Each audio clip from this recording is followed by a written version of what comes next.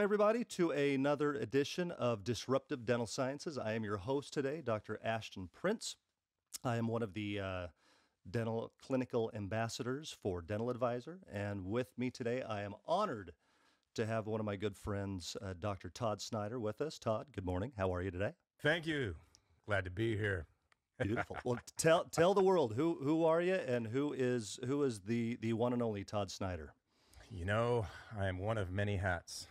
And, uh, you know, I'm a general dentist like probably many of your listeners. And uh, I hail from California, but I've also got an office in Vegas. Do a lot of public speaking, a lot of teaching, a lot of research articles and things published over the years. Done a fair amount of things in dentistry, but a lot of stuff also in business. So, thanks for having me on the show, Ashton. Well, Todd and I got to see each other.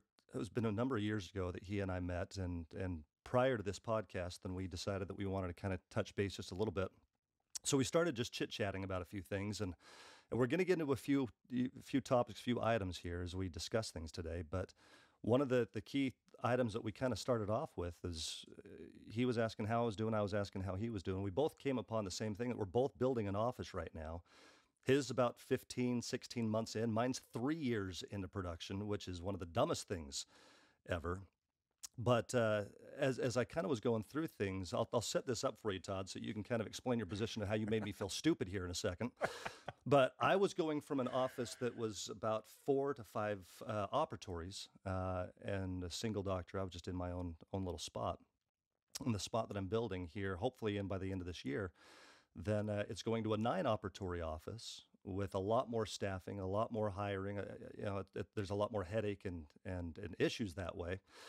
At least I didn't think so because that seemed like it was just the way that that you set up a uh, growing practice. Now, Todd, you you told me otherwise. Tell, uh, kind of explain what you told me as to why it is that that you thought I might be a, a little bit on the mentally insane style of things.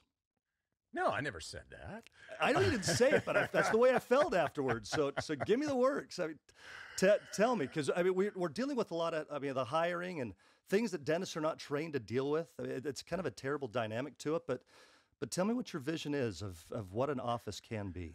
Well, you know, uh, we're obviously joking and having fun here, but but there is something that probably creeped into the back of your mind, right? You did ask yourself, like, hmm, he might have a point, right? I mean, it's not oh, a thousand percent. I did. And, and so the only thing that I like to point out when I'm teaching and having discussions is to ask ourselves why we do what we do.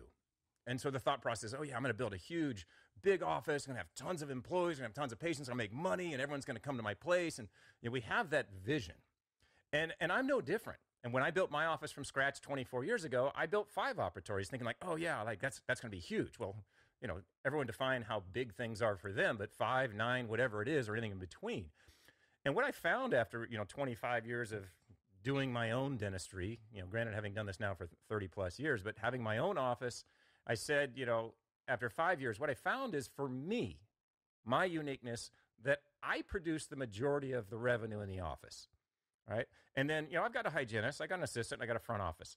But what I found is your number one liability, your number one headache, number one frustration, right? Number one overhead is your employees. 100%. Absolutely so, agree. Right? So if, if you ask yourself, okay, how hard is it, or no, let me rephrase that. How easy is it to find a good employee these days? well, not only to find one, but to maintain one as well. Right? Now, to maintain them, you've got to train them. How much time and effort you put into training? Ask yourself. If you're asking me personally, I can't. I don't have the time for right. it. It, but that's this. I'm asking everyone in the audience because everyone's listening as well. So sure. th- these aren't just pointed at you, but you know. And so you ask yourself because I'm, I'm like the it. same as everybody out there. It's like, okay, yeah, I didn't put a whole lot of training in, time and effort into my employees. So you wonder why you have arguments, frustrations, headaches, people quitting. You know, like all the drama and problems you have is on you as the business owner. Sure. You chose the style, you chose the size, you chose the employees, you chose not to train them, and therefore you have to deal with your headaches. So this is what I was saying. I started to feel a little bit diminished in what I was doing because I was. As soon as I finished talking with you, Todd, I thought, okay, I've got nine ops. That means I'm going to have people checking people in, people checking people out, two chairs for my for myself, two for my associate, four hygiene chairs that we were going to try and run. And the more and more I thought about it, the more headache I was kind of getting, thinking this is this is more than I thought that I was actually signing up for. Now that I actually sit down and think about it. Yeah, we often do. We often, you know, have a regret after the fact because are we doing something because we want it? Are we doing something because someone told it it was this way? It's what we've always heard we should do. You know, why do we do anything in life outside of business? You know, anything you do in life, why do you do what you do? Sure. And, and so I came to that realization and said, okay, I'm going to build a new office and uh, I'm going to make it one operatory. And I'm going to have no front office. I'm going to have no hygienist. And I'm going to have no assistant.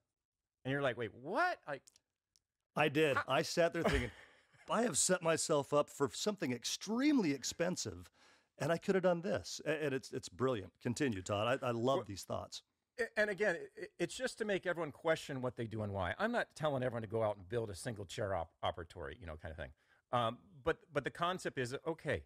So you you think to yourself, how do you greet people, or who's at the front desk? It's like, well, depending on your flow, if you're seeing tons of people, yeah, you probably want someone up there. But most offices that have a number of operatories and have lots of patients coming and going, what I find in consulting is they have too many people up front that aren't trained well enough to perform tasks, you know, well, such that they need extra people to overlap, right? And again, generalization, obviously not every office, but you go, okay, I'd say most are overstaffed. And so, okay, well, could we repurpose that person to do something else in the business that's creating more revenue and productivity and replace them with something else? So again, no matter how big your front office is, or if you're a smaller office, maybe you don't need that front office because really they're just saying, "Hey, welcome to the office. Have a seat. Can I get you water? Do you need the bathroom key?" You know, other than that, it's you know, can I reschedule you an appointment? Can you fill out these forms? Can I take your money? All of that can be automated nowadays. There is technology, whether it be AI or uh, you know various types of software systems. There are things implemented that you don't even have to interact with that patient technically. We're and so talking go- we're talking AI at this point. Yes. yeah. So, uh, what what what's your vision? What's your setup? I mean, what why why transition things from that? uh, Usually in the past, uh, there's this this thought of well, you've got to have the friendly face to welcome you at the front. Is that still in your mind the necessity that we have in our offices? I don't think it's a necessity because, again, going into AI and software, you could have some type of hologram, holographic image, computer screen. You call it whatever you want, but someone that's a greeter that's there digitally says, "Hey, welcome to the office. We've been waiting for you." I love And it. depending on the depending on the software, they could greet the person by name. Now, granted, hopefully the UPS or the Sparkletts guy doesn't show up and call him Tammy, but you know, but That that's would be co- good. that it's coming. Some of it's here, but you know that that type of technology is present, albeit not perfect in some ways, like I just mentioned. But yeah, you don't necessarily need someone there. And think about it: most of you probably have ring doorbells, right?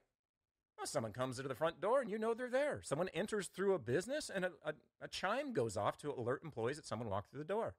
Well, you could have the same thing in your office. When you hear that chime, someone gets up and goes to the front door. All you have to do is go and greet the person, offer them water, have them sit down.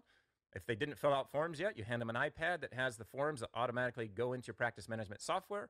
But ideally, they should have done it 48 hours before they ever showed up for their appointment so that you're not put behind schedule.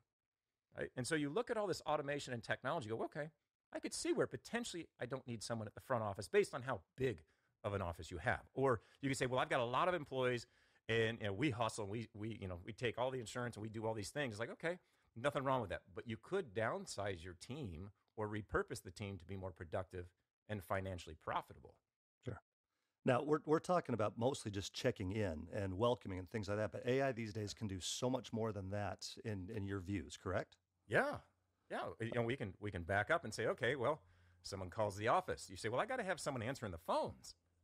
Do you? Because again, think about how much training you've done with your, your front office staff on how to answer the phones. Now, you've probably got someone that's already been in the dental industry, and so you figure they assume they already know what to do, right? They say, hey, what insurance do you have? What's your name? And give me your phone number, right? But is that really how you want them to answer the phone, interact with people? You, know, you decide. But unless someone has training on communication psychology and how to talk to someone, there's a lot of bad phone conversations. You know, and, and if you record your front office and you listen to it and you, you understand enough about the communication that should be happening, you might realize that most of your employees are not performing as well as they should be. And that's a proven fact. You know, there's there's research on that. Says like 99% of offices are not trained properly or adequately to talk on the phone. And, and hence there's software to, to train people and track people and listen to conversations. But I digress. So you go, okay, think of AI. AI software. You answer, you, you call an office, a bot, software, AI person, whatever you want to call them, greets you on the phone. And it doesn't sound like computer robot like you know things of just a few years ago. Not sounds like it pretty used darn to. good. Yeah, it does. Yeah. And, and you get to choose. Do you want an Australian a- accent? You know, like English accent? You know, like you get to choose what type of accent you want. Is it a male or female? Is her name Tammy or Steve or you know whatever? And you go, wow, this is really cool. And um, so again, when someone you know calls the office, usually the patient is in charge of the communication.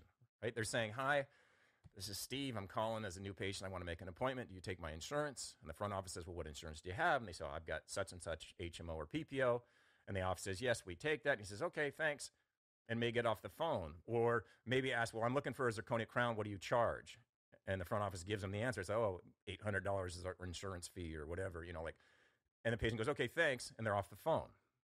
And so they missed out on the person's potentially name, email, phone number for follow up capabilities, Sure. right? Because you want to be able to follow up on everyone that calls your office.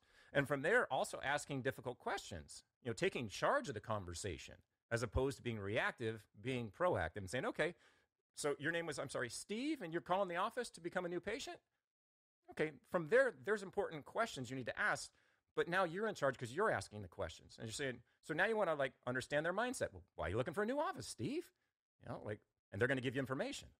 And then you're going to use that information to compel them to want to be in your office, but also to compel them to understand why they maybe left their prior office, unless they just moved to the area. But a lot of people are like, well, I'm leaving the other office. It's like, well, why is that? Well, it's always a different dentist, or they're always trying to upsell me something, or you know, every year they're doing more dentistry on me, you know, or or my insurance wasn't paying well enough. And so it's like, okay, so you're leaving because of all these things, and now you're coming here. And so you're assuming it's going to be different. Why? You know, like, so again, tough questions that most front office aren't going to think and ask, but you can use their problems, their concerns against them. And you can train AI to ask these tough questions. Or if you're you know busy trying to check someone out or answer another call, like you're not saying hold please. AI is doing all this for you. And they're asking difficult questions to get the results, to get the patient to move forward and say yes to you and your office. And they're doing it with consistency as well. It's the same. I mean, if we go throughout Right. an entire day, well, my energy level at the beginning of the day is not the same as what it is at the end of the day. So, depending on when the person actually calls, whoever's running my front and answering that phone may not even be introducing themselves in the same manner, may not even have the same energy they need to have. And this this pretty well bypasses that entire issue. While I'm able to stay as as a clinician back doing what I do and allow for the interactions with these patients or these phone calls to be what they need to be every single time. Right. And think about accountability. Mm. You know, so who's holding the front office accountable? If you haven't trained them and you're not listening to them and you're not having more conversations with them after listening to the phone calls, how do you even know that they're doing what you're supposed to be doing? Very good point. Uh, to be very genuine with you, from our standpoint, for the most part, we don't. Unless we are recording, unless we are training, unless we are doing something to be watching on the back end. But how much do we want to micromanage in the first place? For me personally, I'd rather put my, my time somewhere else. Yeah. You know, but, you know, I think most offices feel that way. I know I was guilty of that until I found ways to actually listen and have conversations. And, and not that it was micromanagement or a bad thing, but now they know I'm listening. Hmm. And so they're now playing at a different level. Not that they're going to be perfect, but and not that I'm going to, you know, like, you know, chastise them for not doing things properly, but to, you know, like to basically say, hey, here's where we could potentially, you know, improve upon conversation or having listened to it. What are things that you think maybe you should have asked or done? And so again, it just becomes like, how can we improve by asking ourselves questions, not as a bad thing, but as a possibility of improving on whatever we're doing. Always asking why we do what we do. Uh, I've, I've always known Dr. Snyder to be kind of against the status quo of what goes on out there. I, I've heard that a number of times. Yeah. But there's there's one thing that kind of keyed my interest a little bit. It's uh, we'll, we'll get into this a little bit later on, but there's so many factors that we have to kind of keep our eyes on, and one of which is collections. That if you haven't trained your front office team members or your collecting uh, managers to to go through this, that's a conversation that nobody loves to have. Yeah. But from an AI standpoint, it's consistent. It's the hard questions, and it doesn't become an issue afterwards. So Right. It's brilliant. It's absolutely brilliant. So, Todd, tell me this: uh, when when you picture your your office that you're building up, you said potentially going into just a single chair. How how do you see the flow of the office actually running? Are, are you thinking a, a hologram of of somebody up front and they're doing all the introductions? I mean, who do you think is actually going to be on your team when this is said and done? Right. So yes, uh, you know, some type of hologram or holographic thing up front. I love the idea. uh, just as a greeter and just a fun factor. You know, there's some really cool ones out there. But also, you know, when someone's there, you know, you can have someone from the back. Like I said, you can have a camera in your operatory. The doorbell rings that someone walked in. You, you know, so we stop for a second, and you know, you have the ability nowadays to communicate through a computer screen. So I could literally turn to my monitor in my operatory and say, "Hi, you know, Betsy, good to see you. Have a seat. We'll be out with you in just a second. And she can see me real time, just like you and I are doing on a Zoom call right now. Mhm. And you go, well, that's kind of cool. Or I may, maybe I just stop and I say, okay, my assistant, you know, whomever that is, she's going to go up front real quick and, you know, make sure they're taken care of. She'll be right back in a minute and we can finish our procedure. Um, but the same token, if I'm not running room to room and everything else, I should be on time for the most part. I mean, I typically run on time.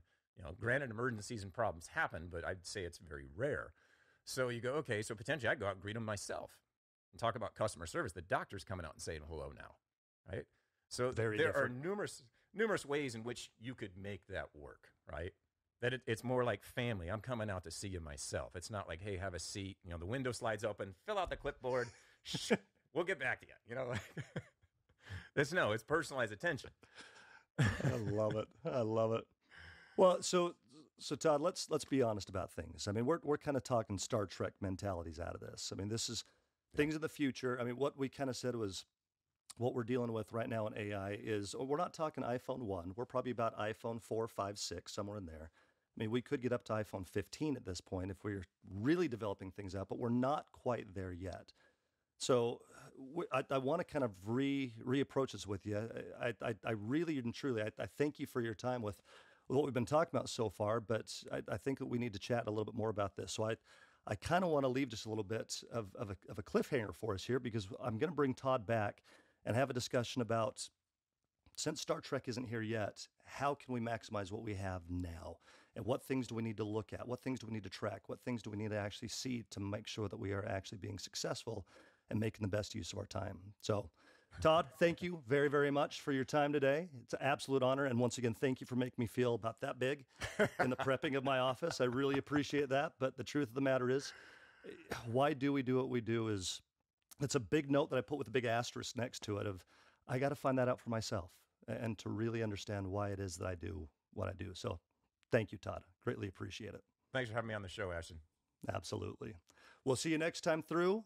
Thank you very much for spending a, a couple of minutes with us.